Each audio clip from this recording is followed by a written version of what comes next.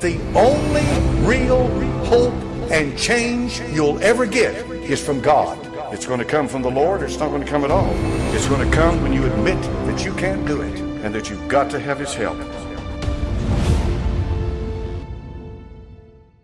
America is now under the judgment of God.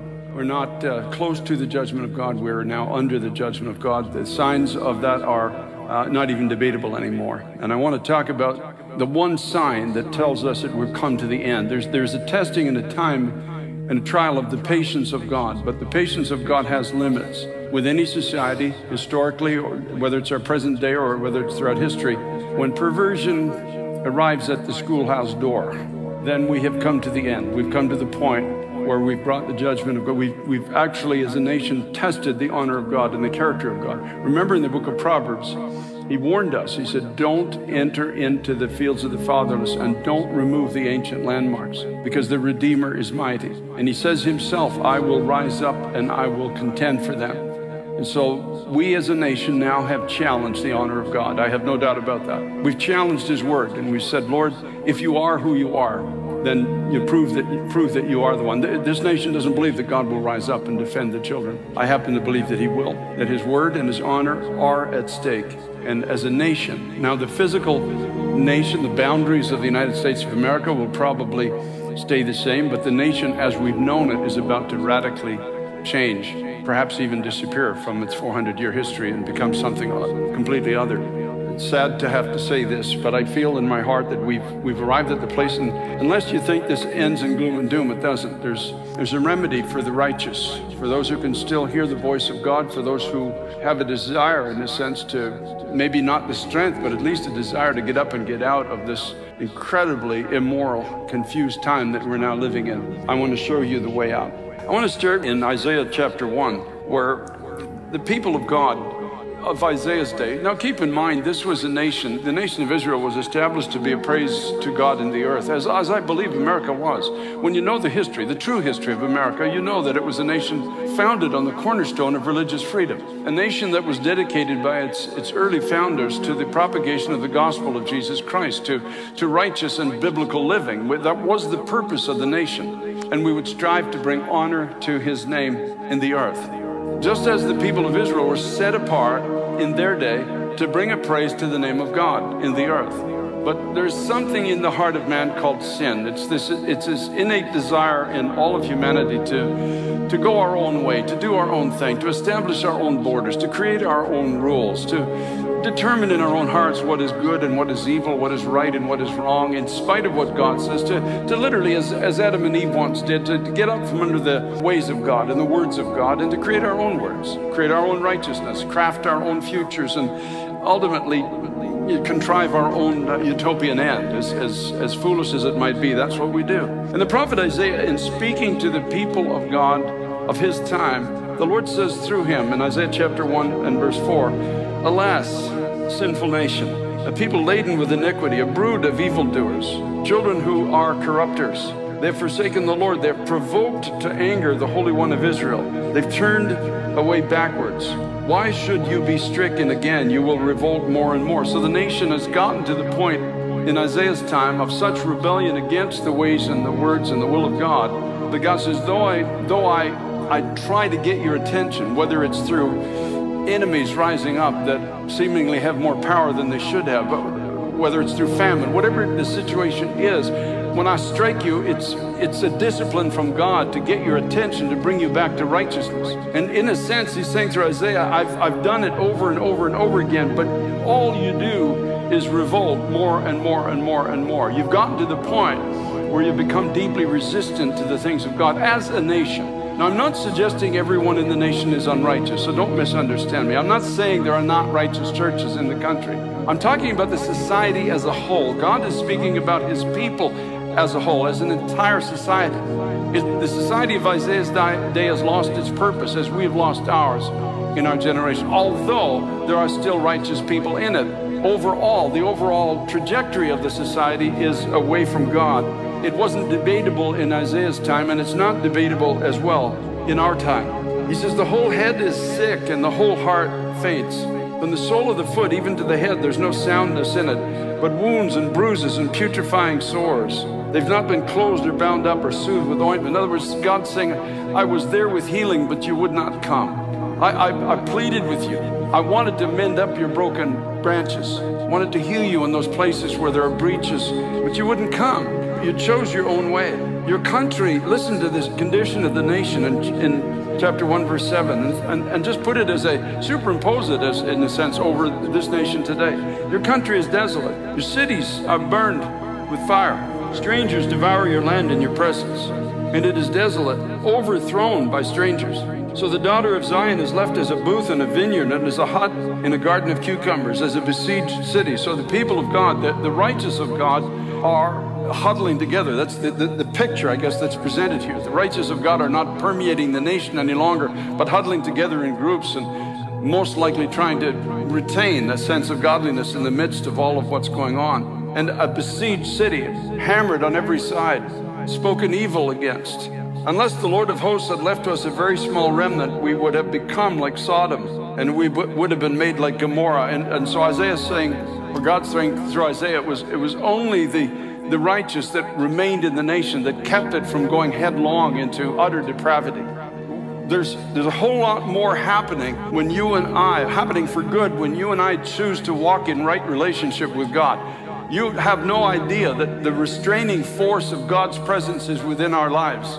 If we choose to walk with God, if we choose to read the Word of God, if we choose to pray, if we, if we turn away from that which defiles the name of Christ, there is an incredible pushback power against the powers of darkness in simply living a righteous life in this or any other generation. We look at our society today, and it's not even debatable that order has given way to confusion. Our government is confused. Who can debate that? Our society has gone into confusion. Our morality is being swallowed by confusion. Our economy is in a confused state. Our military are losing their military might and are more concerned with titles and pronouns and such like. And even now, we're starting to experience uh, distribution and production of basic goods is now in jeopardy. They're talking about food shortages in America. And people are starting to notice that it's, it's hard to buy cars, it's hard to get basic goods now, and it's going to get worse. People who are in the economic know in this country are warning us, they're telling us that it's going to get worse before, and they're not even talking about it getting better, they're just talking about maybe holding the standard and trying to stop the slide into the, the deprivation, in the sense, of basic goods and services that we come to take for granted over so many years. If you have the time, read Deuteronomy chapter 28 and listen to the warnings of God to his own people of what will happen if you choose to turn away from a living relationship with the living God. And everything we are experiencing today as a nation is in Deuteronomy chapter 28. As a matter of fact, it's unfolding in the sequence in which it is spoken. It's amazing. Just read it, just study it, look at it. Look at the warnings of God. If you turn from me, this is what is going to happen. And you can see it, the, the order. We are actually following the same order of warning that is in Deuteronomy chapter 28 when God was warning his own people when he brought them out of captivity, was taking them into the land of promise, the place that they wanted to dwell in. He was taking them there and he was warning them of what was going to happen to them if they turned from him. Now, the signs are everywhere and they're now undeniable. I don't think there's anybody with a rational mind who's a believer in Christ that can deny the reality of the fact that we are now under the judgment of God has been released on this nation. There's no doubt about that in my mind whatsoever. But the only one, the one that leads me to believe that we've tested the limit of God's patience is when perversion arrived at the schoolhouse door, attempting to make the innocents of this society partakers of grievous moral sin in this nation. When that happened, when they arrived at the door, that was the flashpoint of God's patience with former nations. And it is the flashpoint, in my opinion, of God's patience with this nation. What I'm saying tonight, I want to say it very, very clearly. I don't want anybody to misunderstand. I think the days of this nation are now numbered. I think we're test, we have tested the patience of God. I don't know what the future is going to bring, but I do know that as the people of God, the scripture says we're not in darkness that we should be overtaken by a thief. We're not a people of fear. We've been given of God power. We've been given of God the ability to love even in unlovable times. We've been given a sound mind to know that the, the world is, is not meant to be a picnic for the Christian. we were left here, we were told there would be tribulation. We were told that the world would at one day hate all of us because of the name of Christ. We, we were foretold of these things. They should not be taking anybody by surprise. But we were also told that we were going to be given the strength to stand, we were going to be lights set upon a hill that cannot be hidden. We were told that we were going to be made into the salt of the earth. We were going to be a testimony of the goodness and the greatness of our God, no matter what happens in our day and in our society. I believe that. The standards of God are the same. When we push God to the limits that other societies have pushed God, we can expect to see the judgments of God increase. And then, of course, as with the days of Sodom and Gomorrah, it comes to a point where God says it's gone on enough.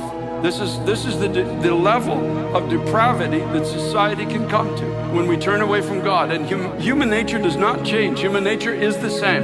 And this is where American society is heading today. We are heading wholesale at full speed into perversion, deeper and darker perversion almost by the hour. You'll notice that perversion is at the door of the schoolhouse in America today. Drag queens reading stories to children in kindergarten. Unthinkable 10, 15 years ago, even 20 years ago, un- unthinkable that we would have to do this.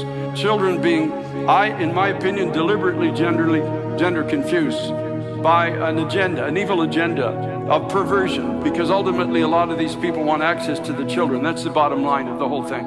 They're now calling sexual perversion with children. There's a book out that somebody wrote it's called minor attract people, minor attracted people now. Now it's no longer sexual perverts wanting after children, but it's called minor attracted persons.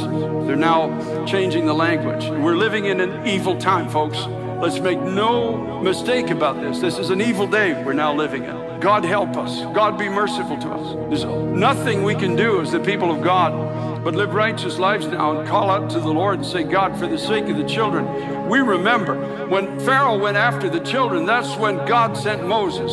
That's when he sent a word. That's when his power was made known. That's when a way was made out of an impossible captivity. That's when the people of God were brought out of this evil place and they were brought in to, even if it looked like a wilderness, it was still the plan and the pathway of God to bring them home to himself.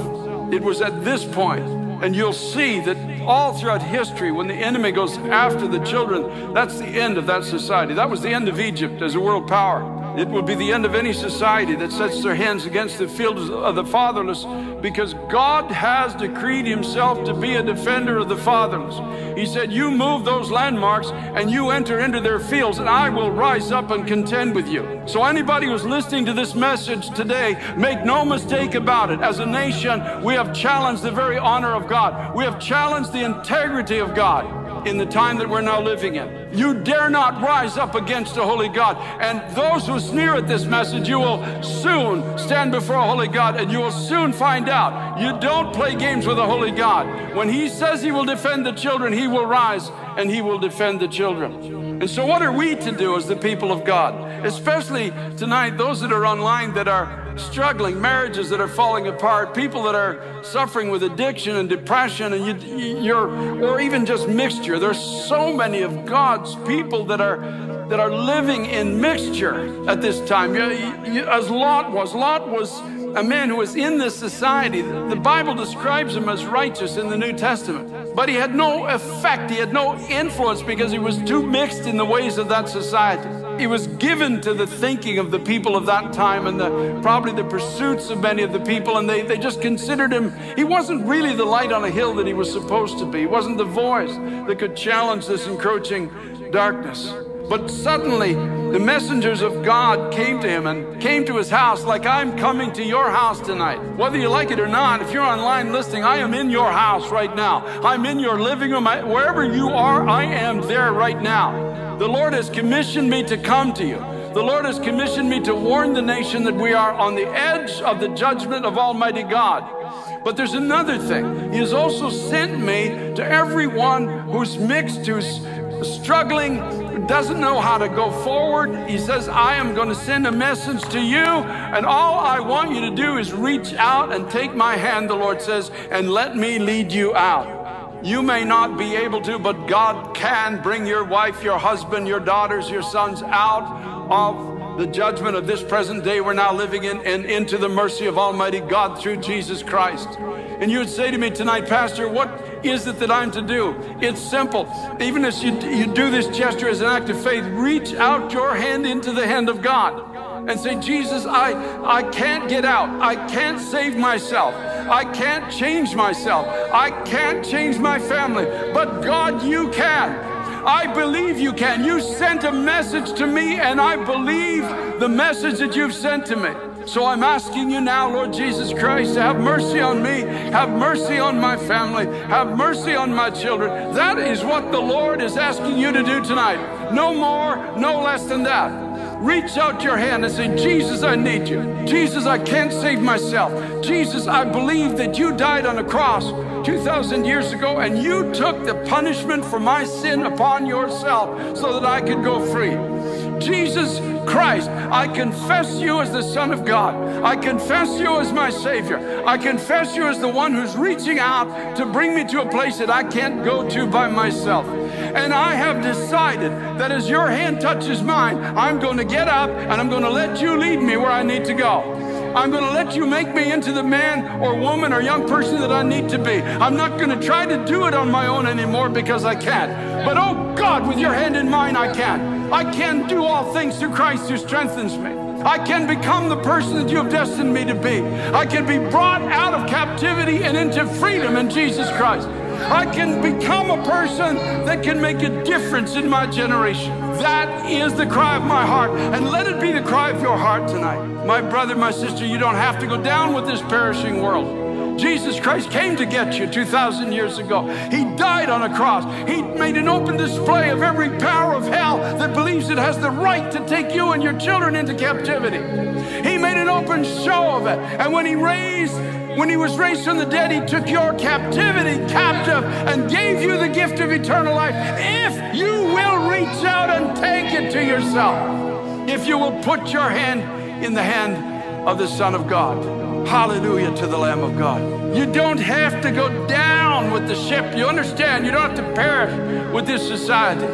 You can have new life. You can have eternal life. You can have a meaningful life. Not just you, but your family. I believe that with all my heart. In the book of Acts, there's an old, dirty Philippian jailer who believed the gospel when Paul shared it with him and took Paul and Silas home.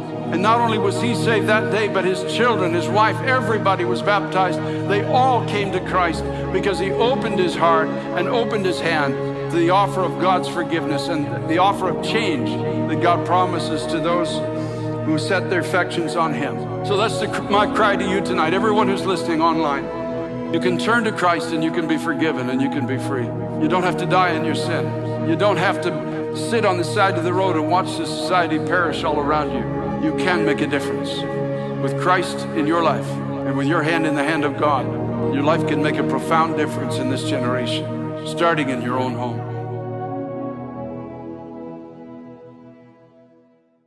Notice also in the last days perilous times shall come. For men shall be lovers of their own selves covetous, boasters, proud, blasphemers. It takes the grace of God to change us, folks. How can you be saved if you're not willing to repent? And the Lord Jesus Christ said, Except you repent, ye shall all likewise perish.